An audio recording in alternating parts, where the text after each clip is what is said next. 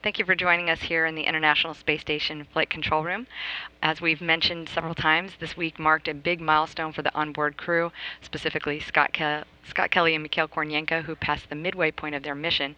Here to help talk about that is Associate Manager for the Human Research Program, Dr. John Charles. Thanks so much for joining us. Delighted to be here. Thank you for the chance. So let's set the stage again for why we even embarked on a one year mission. What were the goals of having a, a couple of crew members stay up there for twice the duration of the normal crew? There are several goals. Uh, one was to uh, start getting into a Mars mindset. Mars missions will be probably two and a half years long. We've got a lot of experience with six month missions on the International Space Station. Inevitably, there's going to be somebody that says, How about the gap between six months and two and a half years? What are you doing about that? And so a, a, Russian proposal was was submitted, and it was accepted by the American side to do a, a one-year increment to, to start thinking about the aspects of a one-year mission or a, a Mars mission.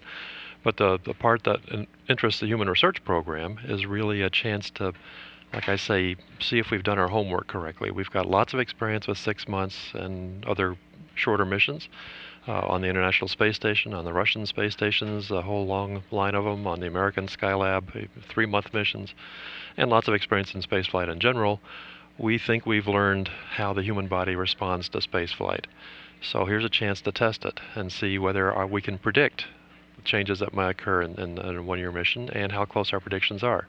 Generally speaking, our predictions are there shouldn't be that big a difference. We think that the six-month flights pretty much show us what's going to happen to the human body with a long space flight. Wouldn't it be nice to know if we're right before we start committing to longer flights? So there's a chance to uh, acquire data on human adaptation to long duration spaceflight and also to verify our countermeasures, those things that we have, uh, those techniques we've developed to allow us to, uh, to, give astronauts and cosmonauts confidence they can go forward with, with known uh, medical uh, uh, changes in their bodies and see whether they really do work on longer missions. So, uh, a good outcome for this mission will be no surprises. So, one of the major activities they've been doing this week is part of the fluids shift research. Um, they're even working on that uh, today. Can you tell us a little bit about that? I know part of that was to look at obviously the fluid shift changes and specifically changes to vision, which has been observed in some crew members. Astronauts on previous space station missions. Uh, not that far back in the past, in the last uh, seven or eight years, have reported decreased visual acuity with time in flight. Uh, it, we had always seen changes in visual acuity on shorter flights, even on shuttle flights, but it was always of a variable nature and never long lasting enough to really concern the flight surgeons in a, in a significant way. But about the, the middle of the last decade, or slightly there, slightly thereafter, uh, some astronauts were reporting that they were uh, losing a lot of their near visual field and unable to do things like read a checklist, which is kind of a, a bummer when you're trying to fly a Soyuz back to a landing.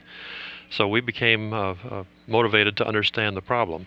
The problem seems to be related to an actual change in the shape of the of the eye, of the globe of the eye in spaceflight, a flattening of the globe, as if there is a force pushing against the back of the eye and making the eye's focal length shorter.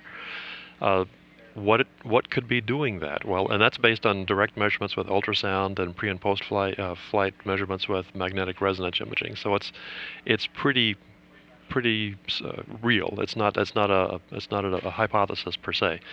One of the things that happens in the human body is the body's body fluids distribute equally up and down the entire body, which has the effect of being a net headward fluid shift, hence the name fluid shifts. If uh, fluid shifts are implicated in the loss of uh, visual acuity because of pressure pushing on the back of the eye, and presumably the fluids would sort of accumulate in the upper part of the body, fill up the spaces in the head, and then look for other places to go, like along the optic nerve tracts, wouldn't it be a good idea to see if we can reverse that with a device that uses lower body negative pressure? Well, it just so happens the Russians have one of those LBNP devices on the station. It's called Chibis. It's part of their usual end of mission countermeasure So we have asked permission and, and actually have a joint study, a joint U.S.-Russian study, to uh, do Chibis uh, measurements on uh, Kornienko and Kelly three times in flight. The first one was in June, the second one is this week, and then once more before landing to see if we can document with a change in the fluid distribution, a change in the shape of the eye, and a change in other parameters that indicate uh, the fluid shifting in space. So it's a very complex, highly integrated, uh, probably the most complex biomedical investigation ever done on the station, and I like to think it's one of the most complex of any investigations done on the station. Highly integrated between the U.S. and Russian sides and uh, between the engineering and the scientific uh, communities. So it's a, a real challenge, and our teams have been doing an excellent job on it so far. In addition to the um, the changes in the vision and the physiological effects on the eye, are there other physiological types of changes that you're looking for with the crew members? Well, in fact, there are. I just heard a, a brief mention in your early report about Sprint. That's an exercise uh, study to, to evaluate different ways, more efficient ways to do exercise on astronauts so they don't spend quite so many hours a day treadmilling or, or exercising. We have uh, the usual set of, of measurements of, of the blood components, trying to under, track the, the changes that happen in the body's metabolic pathways uh, in space. And it should be noted that the studies that we're doing on the one year mission are the same as we do on six month missions. They're not a separate set of investigations for one year because we're looking for differences between six months and one year. And you want to do the same measurements and then see if the data are the same or different. But uh, there are a, a, whole set of, of, of, of physiological studies, psychological studies, and space human factors kind of studies. How well do the astronauts relate to their environment, the spacecraft, to give future spacecraft designers insights into how, how to design spacecraft more suitable for long duration flights in the future. And I think there was a number of tasks along those lines uh, planned for Scott today specifically. Um, what about cognitive performance? How how do you guys monitor monitor that for crew members? We're of course very concerned and very interested in the astronauts' cognition. Uh, astronauts are are selected and flown because they have substantial brains, and those brains have to interact with the environment. So we are doing uh, some very simple testing of uh, of cognitive function, essentially a, a, a a reaction time test, which tells us a lot about cogn- cognitive function at the very basal level, and some other studies which are largely pre and post flight with some in flight uh, sampling, in flight uh, uh, questionnaires and, and, testing that look at changes in the, the actual structure of the brain using MRI and we'll do those. We can't do an MRI in flight, but we can do it pre flight and post flight and do the same kind of psychological tests in flight as we do pre and post flight to see if we can correlate changes in the function on the test with changes in the structure in the brain. It's, it's exciting, and it's the first time you know medical technology has allowed us to do this kind of really invasive, non invasive kind of work there was another really unique um, opportunity with this crew in particular, Scott Kelly being a twin. So there's been a lot of talk about the twin studies in particular. Can you tell us how that's going?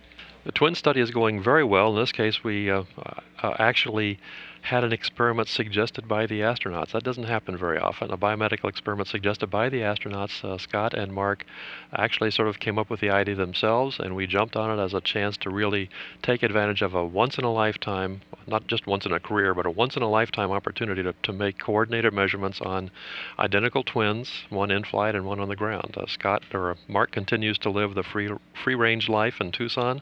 He's not living in a space station mock up. He's not eating space station food. He's not exercising on Scott's schedule, but he does uh, visit with us periodically and allow us to collect body fluid samples and do other studies, including the Chibis study. He is doing the, the, the lower body negative pressure study himself as a comparison with his brother's function in flight.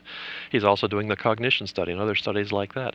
So uh, we've just collected uh, uh saliva samples last week, and next week we'll be doing the full panoply of, of, uh, of sample collection, blood and urine, and yes, even fecal samples collected next week, as well as uh, the full uh, suite of, of psychological, t- psychological tests on Scott.